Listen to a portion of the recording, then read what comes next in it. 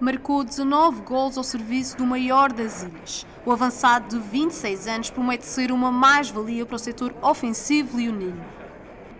Joel, o Cruel, está de volta. Aterrou na Madeira ao fim da tarde deste sábado e em declarações exclusivas à Marítimo TV, o atleta mostrou-se feliz por voltar a representar o emblema verde-rubro. Fico muito feliz, foi uma negociação muito difícil, mas eu fico contente que no final deu tudo certo. A Madeira foi um, um, lugar que eu gostei de morar. O Marítimo é um lugar onde eu fui muito feliz, então isso ajudou muito na decisão. Está ansioso por conhecer um novo treinador? Sim, ansioso para voltar a jogar, voltar a conhecer os novos companheiros, rever os amigos que cá deixei e seguir a vida para que as coisas possam acontecer da melhor maneira possível.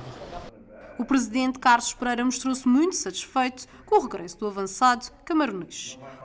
Portanto, é um regresso que se saúda e que se quer que venha de encontro àquilo que são as nossas pretensões, as pretensões do clube, as pretensões da região, as pretensões da massa associativa que também está ansiosa por golos para ver melhorada a nossa classificação.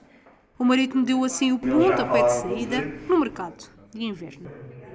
Esta é a primeira entrada, não significa dizer que não haverá outras entradas, haverá com certeza, naquilo que tem sido o diálogo com a equipa técnica, com o técnico em particular, com o departamento de futebol.